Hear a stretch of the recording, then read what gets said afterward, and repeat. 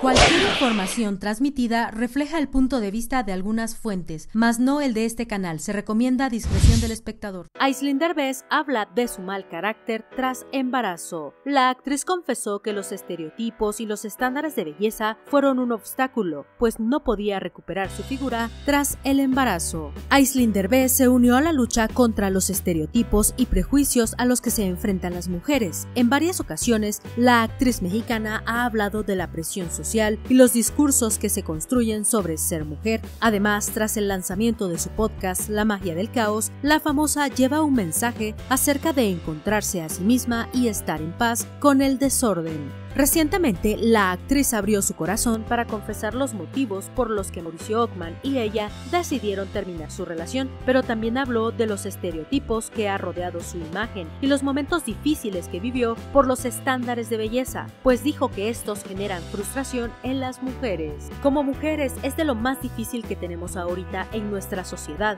alcanzar esos estándares porque son inalcanzables, imposibles y absurdos, dijo Aislinn Derbez. Asimismo, la actriz mencionó que los estereotipos están presentes en el cine, la televisión, redes sociales y revistas. Además, puso como ejemplo los problemas físicos y emocionales que enfrentó tras su embarazo. Por ejemplo, en mi posparto las hormonas no me ayudaron. Entonces se subieron los niveles de hormonas durísimo, por eso no podía bajar de peso y me sentía súper mal anímicamente. También me sentía mal de carácter, confesó la actriz. Aislinn Derbez agregó que durante esos meses estaba de mal humor, pues incluso su padre, el comediante Eugenio Derbez, le preguntó sobre los cambios en su carácter. Fueron unos meses muy duros, fue casi todo el primer año, entonces imagínate, me desconocía, yo decía, ¿por qué tengo tan mal carácter? Yo no era así, hasta mi papá me decía, pero si tú eras todo el tiempo alegre, te reías, mencionó. Más adelante, Aislinn aseguró que el darse cuenta de que había mujeres que estaban perfectas tras el parto fue un duro golpe para su autoestima y no se sentía cómoda.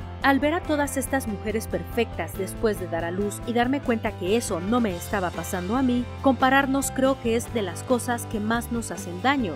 Dejen de hacer Photoshop, sentenció la actriz. Si te gustó nuestro video recuerda que puedes apoyarnos suscribiéndote, dándole like y hasta la próxima.